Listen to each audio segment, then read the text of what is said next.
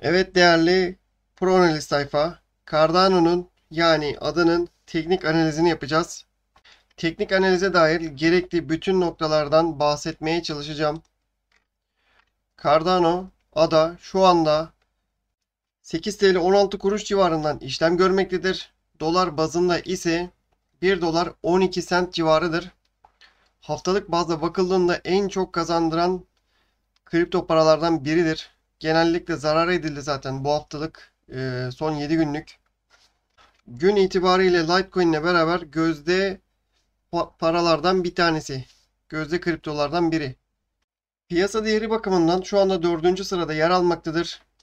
24 saatlik hacim konusunda ise de 4. sırada yer almaktadır. Burada ciddi bir çıkış var ada için. Ada genelde kendisine 5. ve 6. sıralarda yer buluyordu. Fakat 4. sıralara çıkmış ve yerini ne kadar sağlamlaştırır bilinmez. Fakat fark biraz açılmış gibi. Grafiğine bakalım. Şu anda ada zirvede bıraktığı trende devam etmektedir yoluna. Şu şekilde zirve trendi henüz bir üst trende çıkamadı. Kendi rekor trendinde yoluna devam ediyor gibi gözüküyor. Bugün yaklaşık 1 dolar 5 sentten gün açtı ve geldiği nokta 1 dolar 13 sent civarıdır. Sanki hiçbir şey olmamış gibi birkaç gün öncesinde yatay bir gidişat, biraz düşüş ve tekrar çıkış yaşamıştır. Önemli destek ve direnç noktalarından bahsedecek olursak, önemli destek noktası 1 dolar 3 sent ve önemli direnç noktası 1 dolar 14 sent olmaktadır. Daha sonraki günlere uyarı niteliğinde bulunmuş olayım. Adada beklediğim ana trend burasıdır. Normalde burasıydı. O kadar hacim yaptı, o kadar yükseldi. Tekrar aynı yere düşmez. Ola ki kötü senaryoda geleceği yer buradaki trend olabilir. O yüzden yaklaşık hani 60 sentlere 50 sentlere kötü bir senaryoda hazırlıklı olun. Fakat ada kötü senaryoları dinlemiyor gibi. Ada yatırımcıları adayı ciddi bir şekilde sahiplenmiş gözüküyor. Hal böyle olunca diğer kripto paralar da düşünce ada daha cazip hale gelmiş durumda. Ve bu sayede ayakta kalmış gibi gözüküyor. Fibonacci ve Bollinger bantlarına bakacak olursak biraz volatil olduğu için şu anda destek noktası 94-95 sent, direnç noktası ise 1 dolar 20 sent olarak e, göstermektedir. Benim çizmiş olduğum bandın biraz daha yukarısında ve biraz daha aşağısında e, gözüküyor şu anda. Fakat benim direnç ve destek noktalarıma güvenebilirsiniz. Bu noktaları uydurmuyorum. Tercih sizin tabii ki de. Hareketli ortalamalara baktığımızda hala alt sinyali mevcut. Zaten çok ağır ortalamalardır. Çok kolay yön değiştirmez. MACD ve CCI. Her ikisinde de şu anda olumlu gelişmeler var. Yeşil çizgi yani e, MACD çizgisi MACD çizgisini kesmek üzere az kalmış gibi gözüküyor. CCI'de de aynı şekilde yeşil kırmızıyı kesecek gibi fakat kesmediği için ben alt sinyali gelir veya gelecek demiyorum.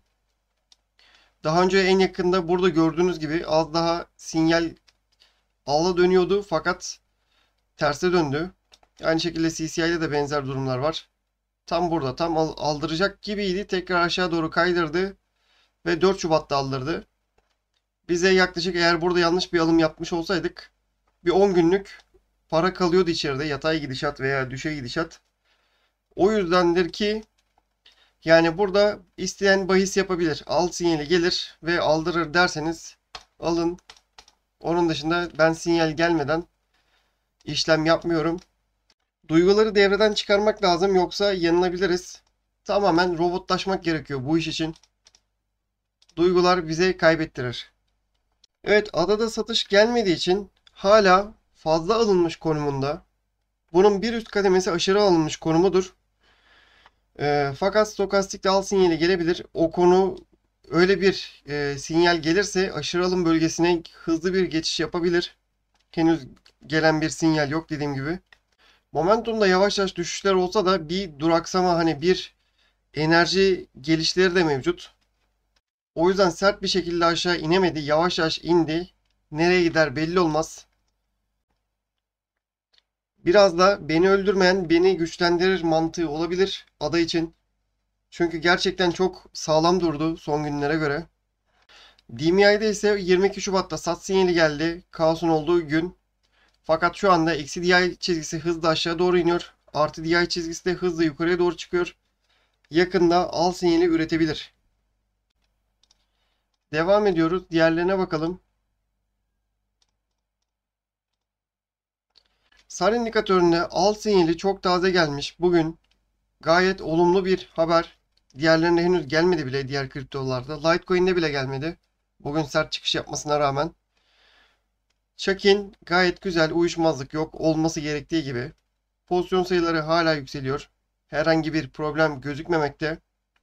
Pozisyon sayısı fiyat karşılaştırması yaptığımızda ise aynı zamanda hacim şu şekilde fiyat yatay gidiyor.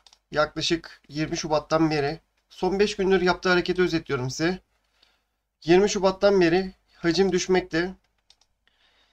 Pozisyon sayısı ise artmaktadır.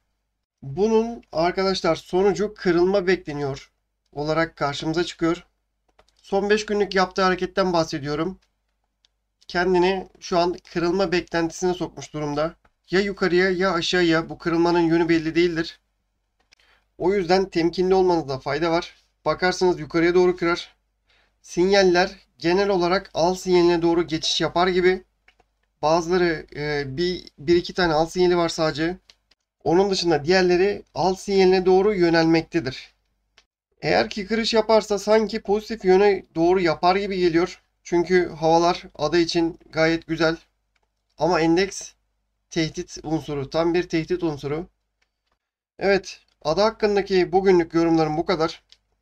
Cardano'nun analizlerini kaçırmamak için kanala abone olmayı unutmayınız. Ayrıca sosyal medya hesaplarına da beklerim.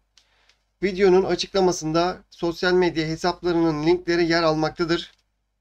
Umarım her şey gönlünüzce olur. Kendinize iyi bakın.